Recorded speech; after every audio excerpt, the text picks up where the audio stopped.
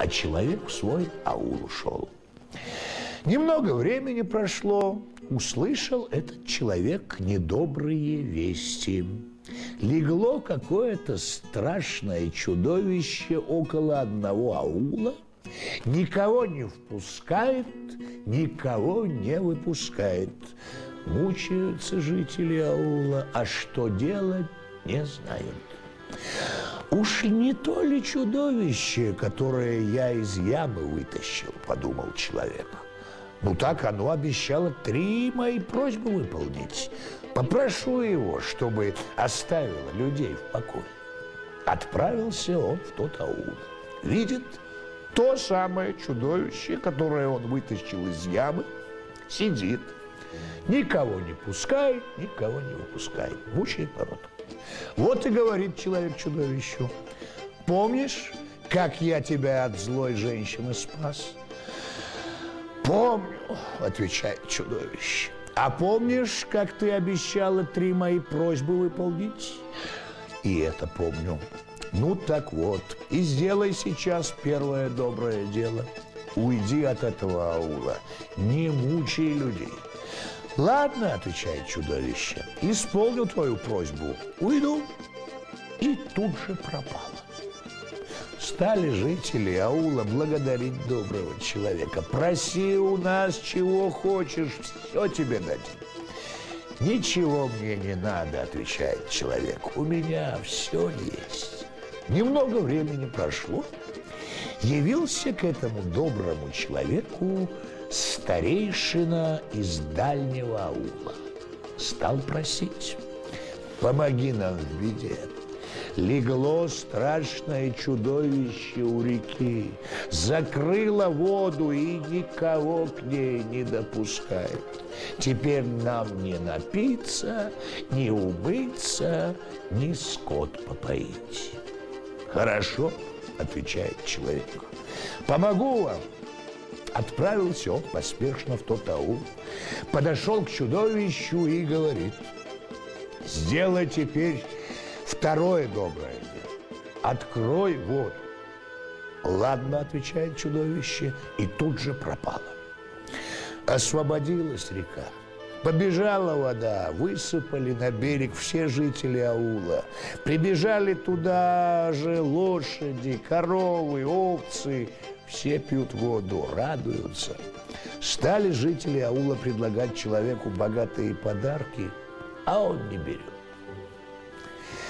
Немного времени прошло, и в третий раз пришел к нему старейшина из другого аула и опять стал просить, чтобы избавил он их от чудовища, которое у них посевы портило, няло да вытаптывало.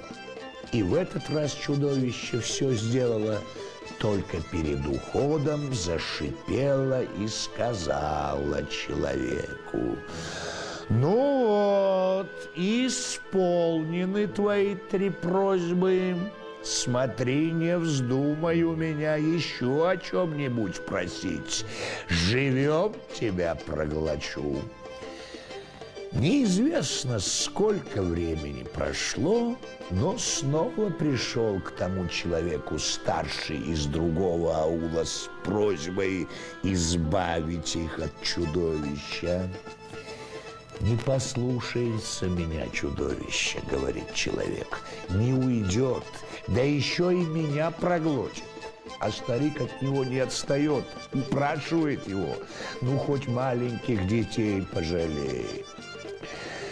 И, думает человек, не два раза умирать. Один или что-нибудь придумаю, или сам пропаду. Приходит он к чудовищу, а оно зашипело, выпустило когти, стало острыми зубами щелкать.